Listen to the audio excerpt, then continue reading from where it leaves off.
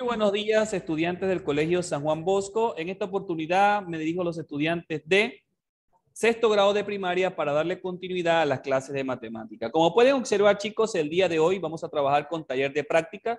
Ya previamente hemos hablado de estos temas, hemos conversado del tema. Recordamos que el tema de taller de práctica es para practicar, ¿no? Para nuestras evaluaciones mensuales, bimestrales o por ahí va cerca, ¿no? Recordamos que el taller de práctica es unos ejercicios que se hacen de acuerdo a la unidad que ya nosotros estamos trabajando. Ya vimos la unidad número 5, por lo tanto, o número 6, por lo tanto, ahora vamos a ver el taller de práctica para ver qué hemos aprendido y luego viene nuestra autoevaluación, que también son ejercicios que vamos a hacer, hacer nosotros solitos para ver hasta dónde hemos avanzado. Y obviamente tenemos después la práctica mensual. Por eso, mi recomendación, como todas las mañanas les digo por acá, es importante la asistencia, la participación, para yo poder decir, ok, eh, estoy asistiendo, entonces eso me va a dar garantías de yo estar aprendiendo mis clases. Si yo dejo de, asistir a la clase, si yo falto a mi clase, yo me voy a dar con la sorpresa de que no voy a entender. Los chicos van a estar más avanzados y va a ser un poco más complicado, digamos, agarrarle el ritmo después. Así que para todos es importante que por favor presten atención, participen, porque es lo que nos va a garantizar a nosotros la eh, buena eh, nota, ¿no? Digamos, en nuestra libreta. Queremos una buena nota, tenemos que hacer las cosas bien. Muy bien, sin más preámbulos, entonces, y usted sabe que el taller de práctica es un repasito de la unidad 6, ahí dice clarito, unidad 6. Vamos a ver entonces qué tenemos. En la número 1, yo tengo que indicar a qué número decimal representa las siguientes fracciones. E indica su, representación perdón, en porcentaje. Tenemos cuatro números, ¿ok? A, B, C, D. Por acá estoy recibiendo respuestas en el chat. Muy bien, chicos. Recuerden que estamos en el libro de actividades, página 169, ¿ok? Página 169 es la página con que vamos a trabajar ahorita.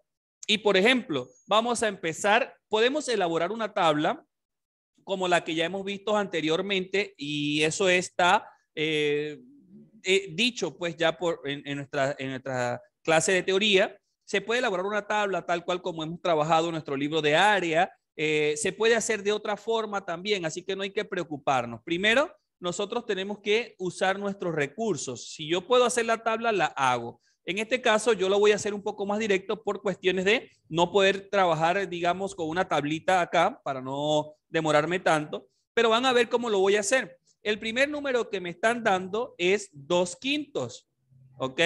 Yo tengo que transformar dos quintos en fracción. Para yo transformar dos quintos en fracción, ¿qué debo hacer? Dividir, multiplicar, restar. Claro, ¿verdad? Tenemos que dividir. Para yo poder resolver este ejercicio en decimal, se divide el numerador entre el denominador. Clase pasada, chicos, ¿verdad que sí? Sería entonces 2 entre 5, sería 0,4. Si yo lo quiero convertir en porcentaje, entonces en porcentaje sería 40%.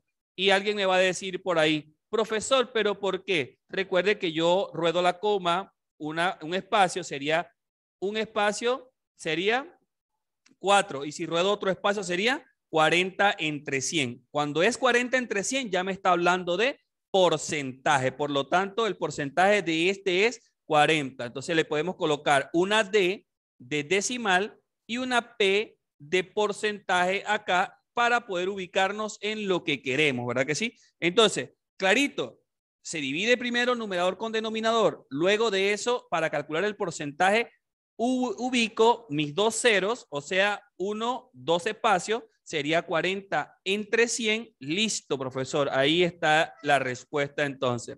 Profe, ¿y cómo hago para determinar que esta es la respuesta? Un check suficiente. Dos rayitas te indican que ese es el número que te están pidiendo. Igual acá, ¿ok? Ya tienes el del A, tienes ahora que buscar el del B te dan 3 sobre 4, lo dividimos 0,75, 75, ¿ok? Vamos a dividir con calma, mucha paz, tranquilidad, no nos estamos apurando, ¿ok?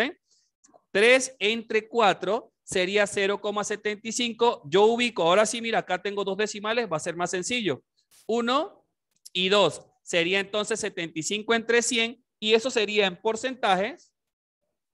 Muy bien, 75%. Y ahí nos estamos dando cuenta de que el ejercicio no es complicado. Fíjese, ya tenemos dos ejercicios resueltos con su decimal y su porcentaje. Luego hacemos el C, que me dice que el decimal o el número es, que voy a dividir, es 7 décimos o 7 sobre 10. Lo divido y eso me tiene que dar muy bien, 0,7. Con, con, calmita usted se va a dar cuenta que puede hacer lo que sea. Entonces, en porcentaje eso va a ser 70%. Profesor, yo lo hice en una tablita, no importa, si lo hizo en una tablita, mejor todavía, ¿ok? Ahí está también ordenadito. Finalmente, trabajamos con el D, que es 5 octavos, o lo que es igual 5 sobre 8, o 5 entre 8, ¿no? 5 entre 8, ¿cuánto es? 0, exactamente. Ahí que estamos hablando de milésimos porque tenemos, ¿cuántos? Tenemos tres decimales. Entonces, el porcentaje tiene que quedar entre 100. Si ruedo la coma, 1, 2 espacios, ¿cómo me quedaría? Muy bien. Y ahora le pregunto a todos, ¿Será que estamos de acuerdo con lo que el profesor acaba de explicar? Muy sencillo, entonces. Entonces, vamos a buscar la manera de ubicarnos en cada uno de los ejercicios para que nosotros podamos de pronto eh, hacer las cosas bien, ¿ok? Una de las formas para hacer mis ejercicios buenos es que nosotros podamos de alguna manera entender las definiciones, ¿ok? Muy bien. Vamos ahora a hacer el ejercicio número dos. ¿Y qué me dice, profesor, el ejercicio número 2? Indica cómo se lee cada uno de los siguientes números decimales. Primeramente, para yo hacer este tipo de ejercicio, yo tengo que analizar, porque no puedo ir a dar respuestas así de rápido, porque me puedo equivocar. Perdón. Yo analizo y digo, ok, yo me voy a ir con calma. El primer número es 304,02. Entonces, ya yo sé primero analizo, ¿no? Tengo 304 parte entera y la decimal serían dos decimales, por lo tanto tengo décima, centésima, milésima, millonésima, entonces yo tengo que ir viendo qué voy a hacer, ¿verdad que sí? Entonces sería así de sencillo. Analizamos primero, ok, tengo 304 enteros, coma, 0.2, listo, entonces me voy con, ahora sí, lo que voy a, a, a leer. Tengo 300 4, ¿verdad que sí? 304 enteros. Muy bien. ¿Y qué dice? Coma, ¿qué más? Dos centésimas, ¿verdad que sí? Dos centésimas porque estamos hablando de dos decimales. Ahí está, dos centésimas. ¿Se dan cuenta? Muy fácil. Ahora vamos a ver el ejercicio B. Analizo, tengo en la parte entera un 2, ¿ok? Y tengo unas cuatro decimales que serían 0, 0, 13. décima, centésima, milésima. ¿Qué más tenemos? Tenemos que hacer, que hacer milésimas, centésimas. ¿Qué será lo que tenemos que hacer? Dos ceros después de ahí, profesor. ¿Y ahora qué hago? ¿Cómo me va a quedar? ¿Cuántos enteros? 2, coma,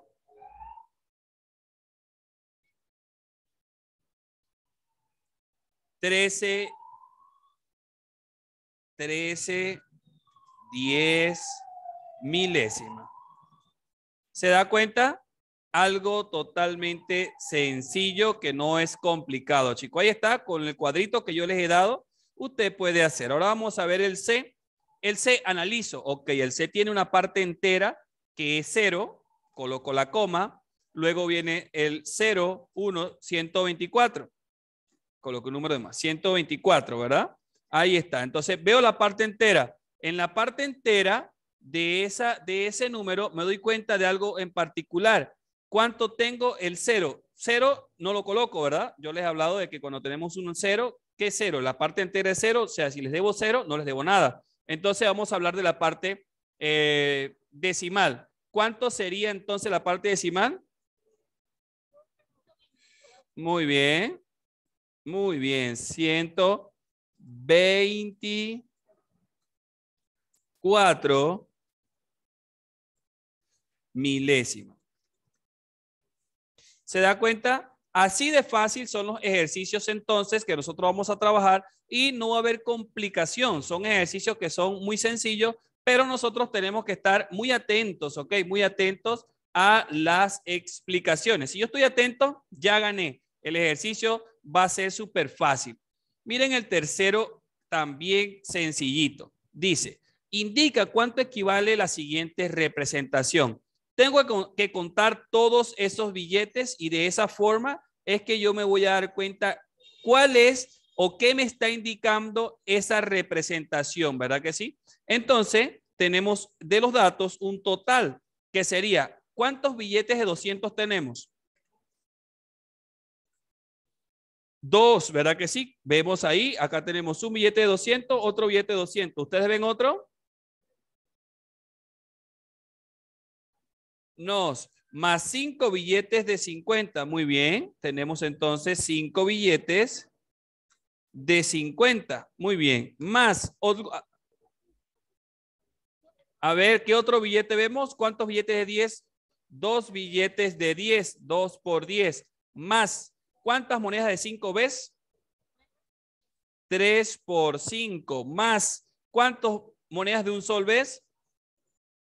Dos por uno, ¿verdad que sí? Ahí está. Y le pregunto, ¿será que son difíciles ese tipo de ejercicio? Para nada, muy fácil. ¿Cuánto es 2 por 200? Más 5 por 50 billetes. Muy bien. Más 2 por 10. Más, ¿cuánto, ¿cuánto es el precio de las monedas? 15. Más, ¿cuántos son los, las moneditas de uno? 2. Sumamos todo eso y me daría un total de 687. Por lo tanto, equivalen a 687 soles. Esa plata que está ahí equivale a 687 soles. Y ahí está, como les acabo de decir, son ejercicios bastante, bastante sencillos, pero yo tengo que estar súper atento y prestando mucha atención para poder resolver, ¿ok? Podemos resolver de alguna manera que no sea tan difícil para que todos podamos tener la posibilidad de trabajar en función de aprender un poco más, ¿ok? Si usted quiere aprender un poco más, trabaje, lea en casa antes de venir, sea participativo, para que cuando usted de pronto, si usted se pone a hacer un ejercicio, ah, profe, lo hice mal, no importa, conmigo compara, entonces el, errorcito que, que de pronto sacó lo va a perfeccionar, lo va a mejorar y va a llegar el momento donde solito va a poder hacer todos sus ejercicios sin problema, ¿ok? Vamos a ver el número 4. Dice, perdón, calcula el área lateral, el volumen de un prisma de base cuadrada, de lado 4 centímetros y de altura 12 centímetros. Chicos, muy sencillo. Nosotros lo que tenemos que hacer es sabernos la fórmula del área lateral, ¿verdad que sí? Tenemos que sabernos la fórmula del volumen y obviamente las indicaciones que me están dando. Es un prisma de base cuadrada, o sea, un prisma de base cuadraada, cuyo lado mide 4 centímetros. El lado mide 4 centímetros. Ah, profesor, pero ¿por qué no lo proyecta hacia arriba? Claro, porque usted lo puede hacer hasta arriba, pero usted sabe que dibujar no es mi, fuente, no es mi fuerte, pero el prisma de cuatro caras de cuadrangular equivale a lo siguiente, a lo siguiente, ¿no? La altura, perdón, la altura, usted sabe muy bien que sería algo así, ¿no? Vamos a ver, nosotros tenemos acá, tenemos acá, es algo así, Ustedes dibujan más bonito que yo, yo sé, no se preocupen. Pero la altura tiene que ver con qué? La altura del prisma. O sea, lo que va hacia arriba sería 12 centímetros. ¿Se está entendiendo el análisis del profesor? Muy bien, eso es lo que hay que hacer. Primero analizamos para poder resolver. Ahora, una vez que yo hago el análisis, ok, la base es cuadrada. Tengo que la base mide 4 centímetros, la altura 12. Ahora puedo ejecutar mi fórmula. La fórmula del área lateral es 2P por altura. ¿Y a qué es igual 2P? Al perímetro de la base. Me están diciendo que es cuadrada y que una de ellas mide 4, por lo tanto, si son cuadradas y todas son iguales, porque recuerden que el cuadrado, todos sus lados son iguales, sería entonces 4 lados por 4 centímetros que vale cada una, ¿verdad que sí? Entonces, ¿cómo quedaría el perímetro? 16, escuché que Alfonso me dijo, perfecto, Alfonso, el perímetro es 16. Ahora, nosotros resolvemos, el perímetro es 16 por la altura que es 12. Entonces, el área lateral, muy bien. Muy bien, Jorge, muy bien, chicos. 192 centímetros cuadrados es mi área lateral. Acá está un check para que sepan que ya está lista mi área lateral. Ahora me voy con el volumen. Ustedes saben que el volumen es el área de la base, ¿verdad que sí? El área de la base que multiplica qué cosa? La altura. ¿Y cómo yo calculo el área de la base? 4 al cuadrado, ¿verdad que sí? El área de la base es L al cuadrado, o sea, los lados al cuadrado. Y como los lados miden 4 centímetros, entonces yo digo 4 a 2 por la altura que vale. Muy bien. ¿Y 4 por 4 es? Muy bien. Creo que me va a dar lo mismo. Sería entonces por 12. Muy bien, es lo mismo, ya me acabo de dar cuenta. Entonces, el volumen va a ser igual. Muy bien, Jorge, 192. Profesor, son iguales, pero la diferencia es el centímetro cúbico, ¿verdad que sí? Ahora le pregunto, ¿fue difícil el ejercicio? Bastante sencillo, ¿verdad? Bastante sencillo, chicos. Los felicito por la participación. Lo están haciendo bastante bien. Lo están haciendo bastante bien, ¿ok? Sí, dígame, caballero.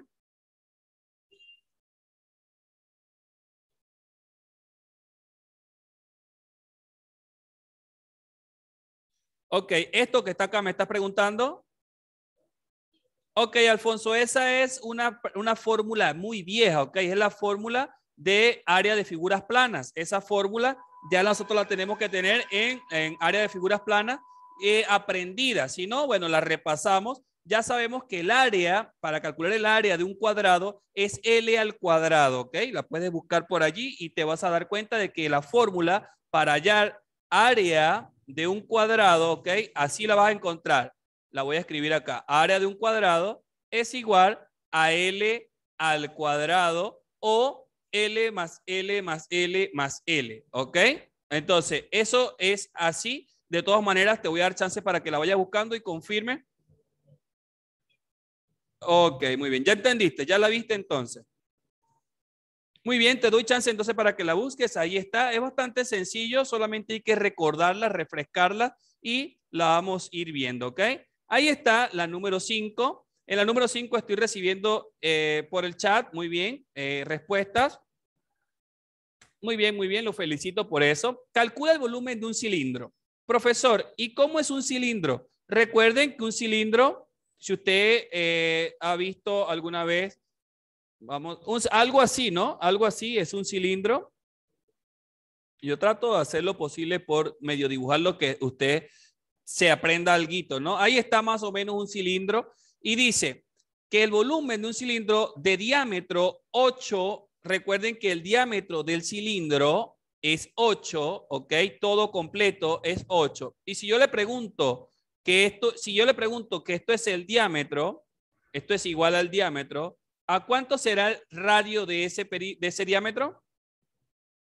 a 4 porque es la mitad, ¿verdad? Que si recuerden que el radio es la mitad. Entonces, ¿por qué me está diciendo esto, profesor? Porque les recuerdo que vamos a trabajar con la fórmula del volumen. El volumen involucra la fórmula del volumen, escuchen, que es lo que me están pidiendo, del cilindro voy a volverlo a hacer, el volumen del cilindro es igual a pi radio al cuadrado por la altura. Necesito el radio, profesor, por lo tanto hay que verlo acá. De todas maneras, se lo voy a hacer aquí un ladito para que lo vean. El diámetro es igual a 8, ¿ok? Entre 2. Y eso obviamente es igual a 4, que sería nuestro radio, ¿verdad que sí? Ahí está. Entonces el volumen, ¿qué vamos a hacer? Vamos a introducir fórmulas, pues. Me está diciendo y la altura idéntica al doble de su radio. Entonces, yo voy a decir que la altura me está diciendo que es igual al doble de su radio. ¿Ok? Vamos a ver entonces, sustituimos, sustituimos. Pi por radio cuadrado. Ya les dije cuánto era el radio, ¿verdad que sí? ¿Cuánto es el radio? Cuatro. Muy bien. Ahí está. El radio entonces es cuatro. se los estoy señalando para que no se les olvide. Cuatro al cuadrado, ¿verdad que sí? Cuatro al cuadrado por la altura, que me dice que es el doble del radio. Si el radio es cuatro, la altura es 8, muy bien. Entonces, multiplico. Eh, el volumen va a ser igual a pi. ¿Qué multiplica? 4 por 4. Recuerden que el cuadrado afecta a la base dos veces, por eso es que se dice 4 por 4. Por 8, que es la altura. Y ahora sí, tenemos entonces, por 8, perdón, acá se me borró. Ahora sí tenemos, entonces, el volumen va a ser igual a 16 por 8, ¿cuánto es? Muy bien, 128 fue la respuesta que me escribieron por 128 pi centímetros cúbicos, ¿ok? No cuadrado, cuidado con eso, no es cuadrado, pero ahí está, es la información, ¿ok? Entonces, profesor, ¿y cómo entonces doy la respuesta? La respuesta sería, el volumen del cilindro es 128 pi centímetros cuadrados. Ahora le voy a hacer la pregunta del millón de dólares. ¿Será que es difícil esa pregunta? Muy fácil, ¿verdad que sí? Yo sé, chicos, que ustedes se están esforzando, lo están haciendo bastante bien, así que de verdad que los felicito porque eso es, eh, e, esa, ese, esas ganas que tiene de trabajar se ve reflejada, ¿ok? Se ve reflejada en la participación. Entonces yo los invito a siempre estar atentos a la clase. Aquella persona que de pronto le cuesta un poco más, no copiar las clases. Es una recomendación. Primero prestamos atención. Luego de que prestemos atención, recién me pongo a copiar. El profesor siempre me va a dar chance, ¿ok? Para copiar. Yo no puedo estar copiando y el profesor explicando, porque cuando usted está copiando, y el profesor está explicando, usted se está perdiendo la explicación. Y, les he dicho en infinidad de, de oportunidades que no me importa lo que usted va a copiar. A mí me importa lo que usted va a entender. Más que copiar, me interesa lo que usted va a aprender. Luego, el copiar es un complemento, obviamente. Usted debe copiar para poder practicar más adelante.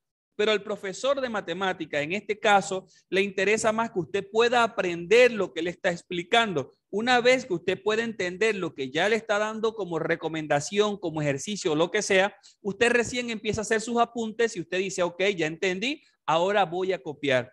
Porque yo les voy a dar el chance necesario para copiar. Claro, que no se pase del límite tampoco, profesor. Me, me demoré un poquito, no, yo espero lo prudente y continuamos pero no podemos copiar porque me he dado cuenta de que acá estoy yo dando clase y otras personas están copiando. vamos a hacerlo por favor así para que de esta manera no solamente participen las mismas personas, sino que todos entren en una participación en conjunto, ¿ok? Muy bien, vamos a copiar entonces para luego continuar con nuestra clase. Voy a